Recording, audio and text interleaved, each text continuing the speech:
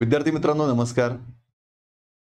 सरळ सेवा भरती दोन हजार चोवीस वेगवेगळ्या विभागाचे फॉर्म सुटलेले आहेत आणि आपण फॉर्म भरले असतील. सध्या महिला बाल विकास विभाग आदिवासी विभाग समाज कल्याण विभाग अंगणवाडी मुख्य सेविका असे वेगवेगळे फॉर्म सुरू आहेत. आता हे सगळे फॉर्म जरी आपण पाहिले आणि यामधला जी के जी एसचा अभ्यासक्रम जर आपण पाहिला अंगणवाडी मुख्य सेविकेचा थोडासा वेगळा अभ्यासक्रम आहे पण बाकी आदिवासी असेल समाज कल्याण असेल महिला व बालविकास विभाग असेल या सर्व परीक्षांसाठी जी के जी एसचा जो पार्ट आहे तो सारखाच आहे. आजच्या व्हिडिओमध्ये आपण नेमकी जी के जी एस अर्थात ज्याला आपण जनरल नॉलेज आणि सामान्य अध्ययन म्हणजे चालू घडामोडी आणि सामान्य अध्ययन असं आपण ज्याला म्हणतो त्याची नेमकी तयारी कशी करावी? नेमकी कोणती पुस्तकं वाचावी आणि अभ्यासाचं नियोजन काय असलं पाहिजे? याविषयी आपण आज डिस्कस करणार आहोत. तेव्हा व्हिडिओ पूर्ण बघा. बघा सगळ्यात आधी आपल्या मनामध्ये येणारे प्रश्न. ते म्हणजे जीएसमध्ये नेमकं काय असतं? किंवा जीएस म्हणजे नेमकं काय? तर बघा जीएसचा अर्थ काय होतो? तर जीएस म्हणजे जनरल स्टडी ज्याला मराठीमध्ये आपण सामान्य अध्ययन असं म्हणतो. ठीक आहे? पण जीएसमध्ये नेमके कोणते कोणते विषय असतात? हा पुढचा मुद्दा. त्याच्यावर लगेच पुढच्या स्लाइडमध्ये ते विषय मी सगळे टाकलेत ते आपण समजून घेऊ. पण त्यासाठी नेमकी कोणती पुस्तकं वाचावी लागतात? याचंही उत्तर तुम्हाला आजच्या व्हिडिओमध्ये मिळणार आहे. पुस्तकातलं नेमकं काय वाचावं? एवढी मोठी मोठी पुस्तकं आहे नेमकं काय वाचावं? हाही प्रश्न बऱ्याच विद्यार्थ्यांच्या मनामध्ये आहे त्याचंही उत्तर आजच्या व्हिडिओमध्ये असणार आहे. आणि जीएसच्या अभ्यासाचे नियोजन नेमके कसे करावे? त्यासाठीचा असता व्हिडिओ आहे. तर बघा जीएसमध्ये प्रामुख्यानं काय असतं? तर बघा जीएसमध्ये इतिहास आहे भूगोल आहे राज्यघटना किंवा राज्य व्यवस्था आपण ज्याला म्हणतो ते आहे. सामान्य विज्ञान आहे अर्थव्यवस्था आहे आणि चालू घडामोडी आहे. या सर्व विषयांचा समावेश हा तुमच्या जीएसमध्ये होतो लक्षात घ्या. मग आता सगळ्यात महत्त्वाचा मुद्दा हा आहे की नेमकी तयारी करायची कशी? काय वाचायचं? तर बघा आता अलीकडच्या काळामध्ये वाढलेली स्पर्धा लक्षात घेतली किंवा अलीकडच्या काळामध्ये आपण मागचे T C S I B P एसचे प्रश्नपत्रिका पाहिल्या तर आपल्याला जाणवतं की आता कुठलं तरी एक पुस्तक वाचून जीएसचा अभ्यास होत नाही किंवा आपल्याला तेवढे मार्क पडत नाहीत. आपल्याला स्पर्धेमध्ये टिकून राहायचं असेल तर आपल्याला आपला अभ्यास वाढवावा लागेल. कारण लाखो लोक फॉर्म भरतायत. अगदी कंबाईनचा अभ्यास करणारे मुलं सुद्धा सरळ सेवेच्या परीक्षा देत असतात. त्यामुळे काठिण्य पातळी कुठेतरी वाढली आहे कॉम्पिटिशन कुठेतरी वाढलंय. त्यामुळे विद्यार्थी मित्रांनो आता कुठला तरी एक ठोकळा वाचला आणि आपण पास झालो असं खूप कमी बघायला मिळतं. आपल्याला जर शंभर टक्के न्याय द्यायचा असेल अभ्यासाला आपल्याला प्रामाणिकपणे प्रयत्न करायचा असेल तर मात्र तुम्हाला प्रत्येक विषयाचं संदर्भ पुस्तक वाचणं गरजेचं आहे. त्याचा फायदा तुम्हाला फक्त सरळ सेवेलाच होतो असं नाही तर त्याचा फायदा तुम्हाला पुढे कंबाईनची एक्झाम तुम्हाला द्यायची असेल ग्रुप बी ग्रुप सी तर तिथे सुद्धा याचा फायदा तुम्हाला होणार आहे लक्षात घ्या. मग आपण अभ्यास करतोय आपल्याकडे वेळ भरपूर आहे. असं नाही आहे ना की लगेच पुढच्या महिन्यात परीक्षा आहे. परीक्षेचा कुठलाही वेळापत्रक अजून आलेलं नाही. म्हणजेच अजून साधारणतः दोन ते तीन महिने आपल्याला अभ्यासाला वेळ मिळणार आहे लक्षात घ्या. त्यामुळे जीएसचा अभ्यास करताना अशा पद्धतीने करा की एकदा अभ्यास केल्यानंतर पुन्हा तुम्ही कोणतीही परीक्षा द्या पुन्हा पुन्हा अभ्यास करण्याची गरज नाही पडली पाहिजे. नंतर फक्त रिव्हिजन करण्याची आवश्यकता असली पाहिजे. आता मराठी व्याकरण इंग्रजी व्याकरण गणित बुद्धिमत्ता यांचं ठीक आहे.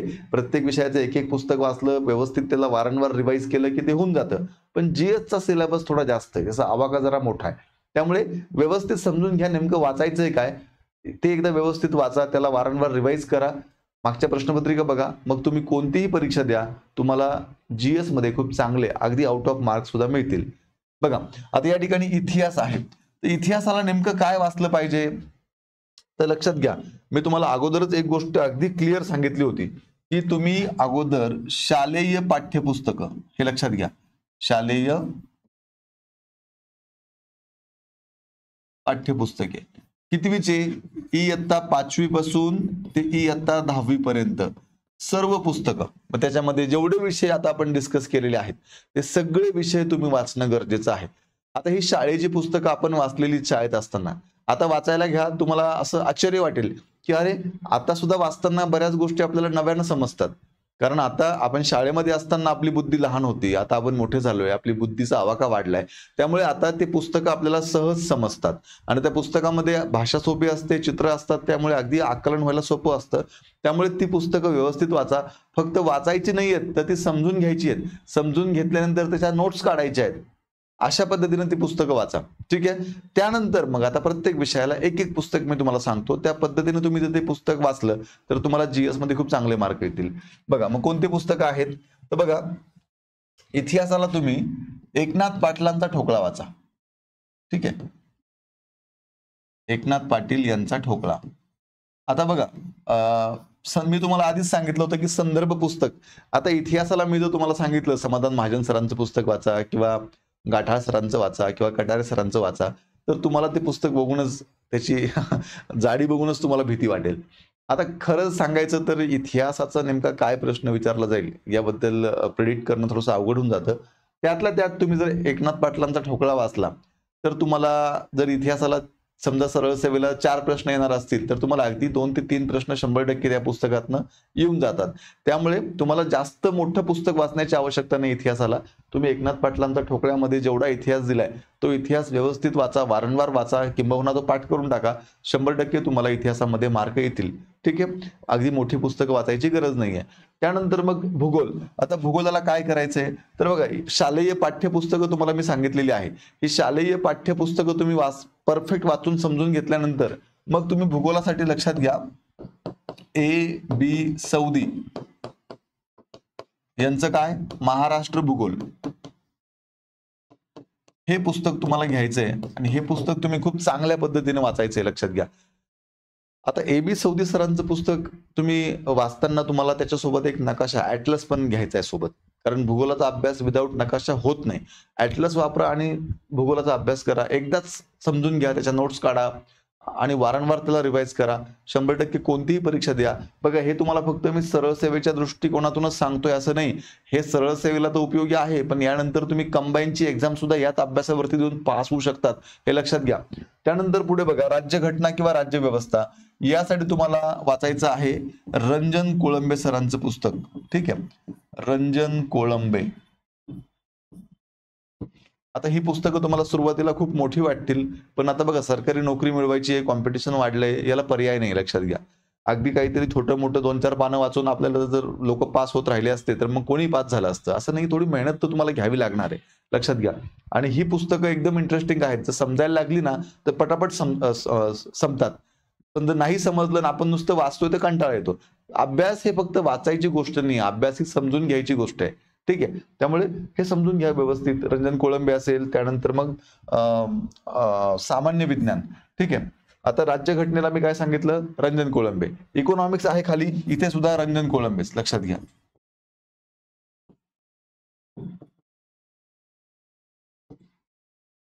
त्यानंतर सामान्य विज्ञान. सामान्य विज्ञानला आठवी नववी दहावीचं पुस्तक तुम्ही जर व्यवस्थित वाचलं तर काही वाचायची गरज पडत नाही. पण तरी सुद्धा तुम्हाला वाचते वाटतंय की बाबा शाळेची पुस्तकं न वाचता दुसरं काही वाचता येईल का? तर मग तुम्ही सचिन भस्के वाचा.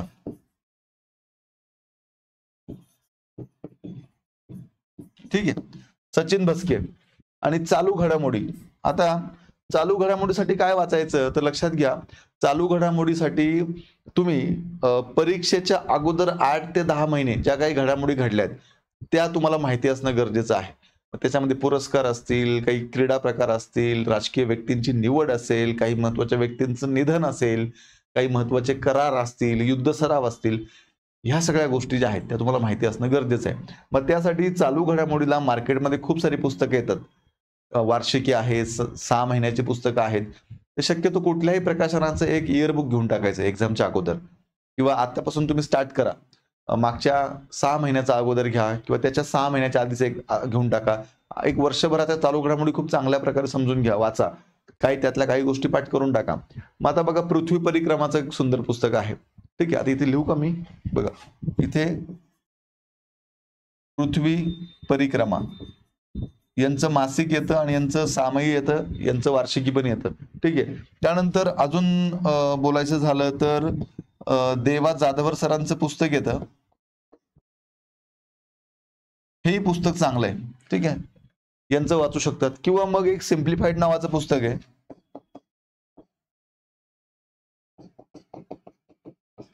ठीक आहे? सिम्प्लिफाईड आता हे सिम्प्लिफाईड तुम्हाला थोडस मोठं वाटेल जास्त.